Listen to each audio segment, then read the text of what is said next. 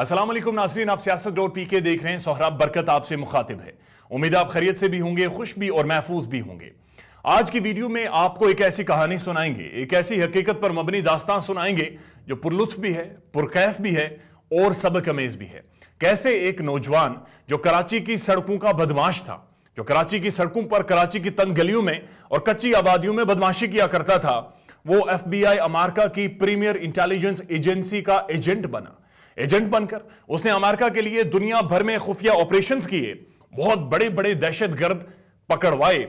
और यहाँ तक उसकी डिमांड बन गई थी पूरी दुनिया में कि एक टाइम पर एम सिक्स बरतानिया की इंटेलिजेंस एजेंसी, थाईलैंड की इंटेलिजेंस एजेंसी मलेशिया की इंटेलिजेंस एजेंसीज ने उन्हें उसे दरखास्त की कि वो उन इंटेलिजेंस एजेंसीज के साथ काम करे।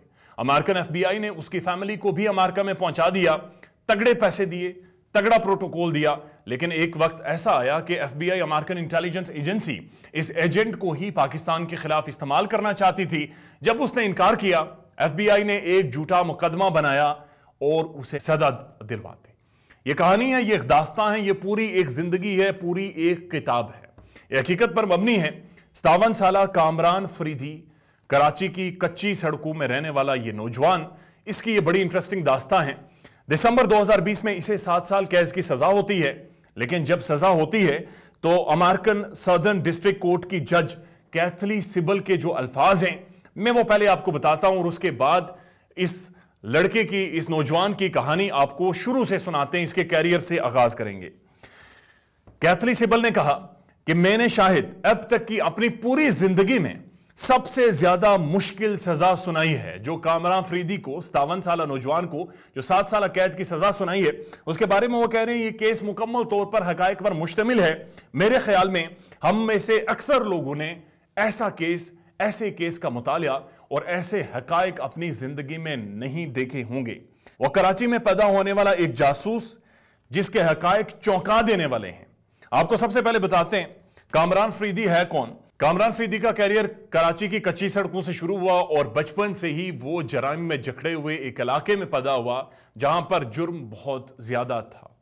फरवरी 2020 में अपने FBI supervisor, FBI force, task force joint terrorism और एफबीआई के सबक हैंडलर्स को, के तीन साथियों को जान से मारने की इसे इसने धमकी दी इस नुमाइंदे ने, यानी जिस नुमाइंदे ने जी, ये स्टोरी छपी है खसूसी ये खबर नशर की है, उसने बाकायदा इसका इंटरव्यू किया, कामरान फरीदी का, और अदालती जो हुक्मनामा है, उसको बड़ी डिटेल में और कागजात को जो एविडेंसेस थे, उन सबको डिटेल में खंगाला है पढ़ा है, और उसके बाद ये स्टोरी छपी है, और कामरान फरीदी जो इस वक्त न्यूयॉर्क की जेल में वक्त गुजार रहा है, उसने पाकिस्तान के नाम एक पैगाम भी दिया है। कामरान फरीदी कराची की कराची के गुलशन इकबाल के ब्लॉक थ्री में पैदा हुए।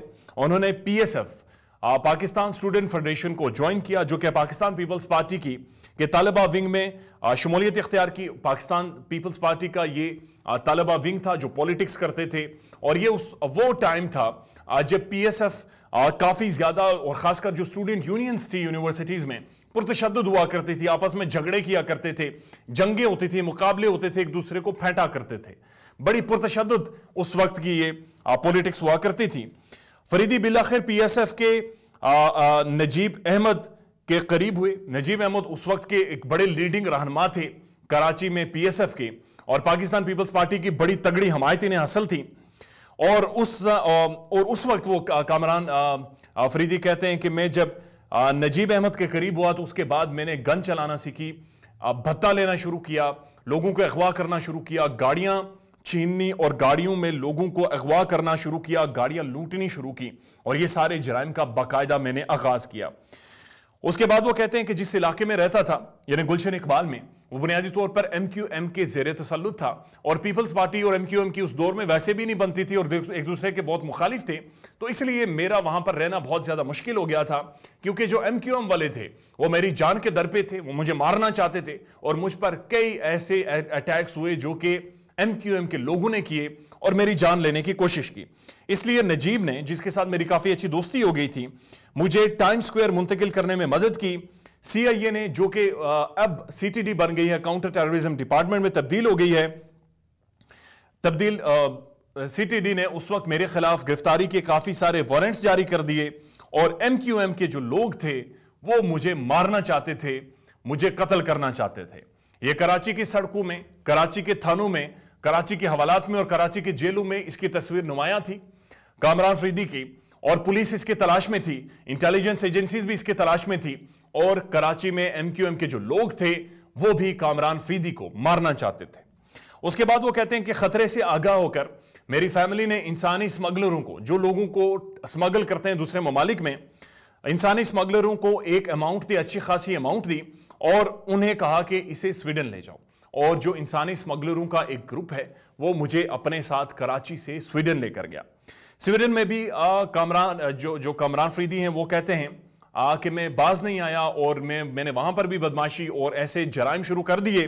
और स्वीडन में मौजूद अल्बानी और बंगाली ग्रोहों के साथ मेरी लड़ाई हुई और उस लड़ाई में लड़ाई से पहले भी पुलिस ने, स्वीडन पुलिस ने काफ़ी दफ़ा मुझे गिरफ़्तार कर रखा था और फिर स्वीडन में मुझे ब्लैकलिस्ट कर दिया गया और स्वीडन से मुझे निकाल दिया गया। उसके बाद वो कह रहे हैं, इंसानी हकूक के एक मुकामी कारकुन ने आइसलैंड जाने के लिए मेरा जाली पासपोर्ट का इंतज़ाम किया और मैं स्वीडन से आइसलैंड चला गया, जहाँ से वो अमेरिका चला गया और न्यूयॉर्क में अपनी ज़िंदगी का आगाज़ कर लिया। ये कहानी थी, कराची में पलने वाले, कराची की सड़कों में घूमने वाले, बदमाशी करने वाले इस नौजवान की जो इसे स्वीडन लेकर गई स्वीडन से आइसलैंड और आइसलैंड से ये अमेरिका न्यूयॉर्क चला गया। इसका मुकद्दर देखिए और कहानी आगे बड़ी दिलचस्प होती है। वो कहते हैं कि अमेरिका चला गया और बाद में वो जॉर्जिया के अटलांटा चला गया जहाँ पर उसने एक पुरतशद इलाके में एक कंट्रोवर्शियल इलाके में एक इलाका जहाँ पर बदमाशी बहुत ज़्यादा थी वहाँ पर उसने एक गैस स्टेशन खरीदा और कामकाज जारी रखा।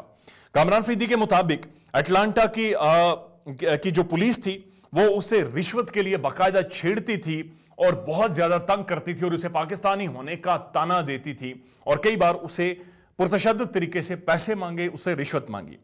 इस आसानी से तंग आकर कामरान फरीदी ने पहली बार एफ़ बी आई को इतला दी कि जनाब, ये पुलिस मुझसे रिश्वत मांग रही है, मेरा गैस स्टेशन है और मेरे पास इतने पैसे नहीं है, मैं इन्हें रिश्वत दूँ, इन्हें इन अमाउंट दूँ और ये बहुत ज़्यादा अमाउंट मुझसे मांग रहे और गालियाँ भी देते हैं। इस तरह पहली दफ़ा जब वो शिकायत करने गया तो फेडरल ब्यूरो ऑफ़ इन्वेस्टिगेशन यानी इंटेलिजेंस एजेंसी के साथ कामरान फरीदी का रबता हुआ। एफबीआई ने कहा कि वो इसकी मदद तब करेंगे जब वो उनकी मदद करेगा। एफबीआई बुनियादी तौर पर उसकी उर्दू, पश्तू और हिंदी ज़ुबान की जो रवानी थी जो फ्लुएंसी से, जिस फ्लुएंसी के साथ वो बातचीत करता था, उससे बहुत ज़्यादा मुतासर हुई थी और वो चाह रही थी कि बहुत सारे जो दहशत गर्द हैं, बहुत सारे लोग हैं जो अमेरिका के खिलाफ काम करते हैं, जो शायद उर्दू बोलना जानते हैं, पंजाबी बोलना जानते हैं या हिंदी में बातचीत करते हैं, उनके लिए कामरान फरीदी उनका बेहतरीन हथियार साबित होगा। और उसके बाद उन्नीस सौ छियानवे में बाकायदा एफबीआई ने कामरान फरीदी को कुल व्यक्ति यानी मुकम्मल तौर पर अपना एजेंट बना दिया, उसकी तनख्वाह लगा दी। और उसके थ्रू ऑपरेशन करवाने शुरू कर दिए। उन्नीस सौ निन्यानवे में जब सबक फौजी आमिर के इकतदार पर कब्जा करने के बाद कामरान फीदी को पाकिस्तान भेजने से पहले उसकी फैमिली को भी अमेरिका बुला लिया गया और उन्हें अमेरिका में बाकायदा जगह दी गई, घर दी गया, दिया गया और रोज़गार दिया गया। अब भी उसकी फैमिली फ्लोरिडा में आबाद है, वहाँ पर रहते हैं। 2011 में कामरान फीदी ने डी कंपनी के बारे में बहुत अहम मालूम दी। डी कंपनी ये वही है, दाऊद इब्राहिम की कंपनी और दाऊद इब्राहिम के बारे में आपको पता है कि एक इंटरनेशनल गैंगस्टर है, एक इंटरनेशनल दहशत गर्द है। इसके बारे में एफबीआई को बहुत ही अहम मालूम इसने दी हैं। कामरान फीदी की कोशिशों की वजह से अमरीका को अबू जाफिर और अलकायदा के दिगर अरकान के बारे में भी मालूम हुई। अबू जाफिर और अलकायदा के दिगर अरकान जो कि इंटरनेशनली वांटेड थे, दुनिया उनका पीछा कर रही थी। अमेरिकन इंटेलिजेंस एजेंसीज अमेरिकन फौज और दुनिया भर के इंटेलिजेंस एजेंसीज उनका पीछा कर रही थी। लेकिन कामरान फरीदी के बिछाए हुए जाल की वजह से अबू जाफिर और अलकायदा के दिगर अरकान के बारे में उन्हें मालूम मिली। फरवरी 2019 में फरीदी की मदद से, कामरान फरीदी की मदद से मलाइशिया में अलकायदा के दो कारकुनों की गिरफ्तारी हुई। अब ये बहुत बड़ी दुनिया के लिए ब्रेकिंग न्यूज़ थी क्योंकि ये बहुत बड़े वांटेड दहशतगर्द थे, जो काफ़ी अरसे से रूपोश थे। कामरान फरीदी के बिछाए हुए जाल की वजह से इनकी गिरफ्तारी होती है। उसके बाद कामरान फरीदी को इस्तेमाल करके कराची के एक ताजिर हैं जाबिर मोतीवाला को अगस्त 2018 में लंदन में इस शोभे में गिरफ़्तार किया गया था कि वो दाऊद इब्राहिम के साथ उसके ताल्लुक थे।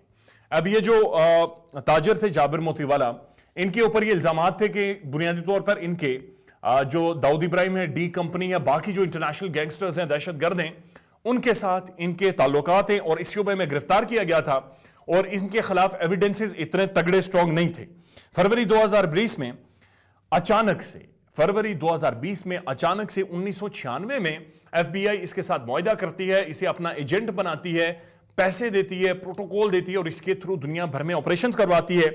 फरवरी 2020 में फरीदी का मुआदा बाकायदा अचानक मनसूख कर देती है और फरीदी को बताया कि और उसके बाद इसके खिलाफ मुकदमा शुरू होता है और इसे सजा दी जाती है। लेकिन जो जिस रिपोर्टर ने यह खबर छापी है, वो ये कहते हैं कि मैंने जाकर फरीदी से पूछा कि क्या वजह थी कि एफबीआर ने, एफबीआई ने तुम्हारे ऊपर मुकदमा चलाया और ये सारे मामला चलाए तो फरीदी ने बताया कि एफबीआई उससे झूठी गवाही दिलवाना चाहती और वो झूठी गवाही देना नहीं चाहता था। और एफबीआई ये चाह रही थी कि दाऊद इब्राहिम, छोटा शकील अनीस बाई के खिलाफ वो झूठी गवाही दे। अब ये सबसे इंपॉर्टेंट पार्ट है इस सारी स्टोरी का। वो झूठ नहीं बोलना चाहता था और झूठ बोलने से इनकार कर दिया। अफरीदी ने बल्कि वाजे तौर पर कहा कि उसे कहा गया कि वो उन अफराद को पाकिस्तान की एक सरकर्दा जासूस एजेंसी की जानब से जोहरी टेक्नोलॉजी की खरीदारी से मुंसलिक करने वाली झूठी गवाही पर दस्तखत करवाना चाहते ये जो सारे इंटरनेशनल गैंगस्टर्स हैं, दहशत गर्द हैं, इनके खिलाफ गवाही दिलवाना चाहते थे वो कामरान फरीदी से। और कामरान फरीदी से एक ऐसी गवाही पर दस्तखत करवाना चाहते थे, जिससे ये साबित होता कि एक सरकर्दा जासूस एजेंसी जोहरी टेक्नोलॉजी की खरीदारी करवाना चाहती है। जोहरी टेक्नोलॉजी के जो मामला हैं, वो सारे जो मालूम है, वो दाऊद इब्राहिम, छोटा शकील और बाकी इंटरनेशनल गैंगस्टर्स तक पहुंचाती है। और इन सारे लोगों को, इन सारे दहशत गर्दों को इनका ताल्लुक किसी ना किसी तौर पर पाकिस्तान के साथ जोड़ना चाहते थे। इस वजह से मैंने सबक एफ़ बी आई के अहदेदारों को, जब इन्होंने मेरा सारा जो अग्रीमेंट था, मनसूख किया तो मैंने मारने की धमकी दी, जिसके ईमेल्स और टेक्स्ट आज भी मौजूद हैं। जब जज साहबा साहबा के सामने जिरा हुई और मुकदमा चला तो जज साहबा ने वाज तौर पर कहा कि कामरान फरीदी ने मुल्क का फ़ायदा ज़्यादा किया है, नुकसान बहुत कम किया है और एफ़ बी आई ने वाज तौर पर अदालत के सामने सबूत रखे कि कामरान फरीदी मुख्तलिफ़ इंटेलिजेंस एजेंसीज और अमेरिका खिलाफ दहशत गर्दों को एफ़ बी आई की और बाकी इंटेलिजेंस एजेंसीज की और हसास डॉक्यूमेंट्स और मालूम प्रोवाइड करता रहा। इसकी वजह से कामरान फीदी की सजा बनती है। कामरान फीदी को कैद कर दिया गया और सात साल की इसे सजा हो गई है और आज भी वो इस उम्मीद पर है कि शायद उसकी सजा कम कर दी जाए। और आखिर में उसने वाज तौर पर कहा कि जो ही मेरी सजा खत्म होगी, मैं वापस पाकिस्तान आऊँगा, वापस कराची आऊँगा, वापस अपने मुल्क में आऊँगा। अपना ख्याल रखिएगा और हमारे चैनल का भी अल्लाह हाफिज़।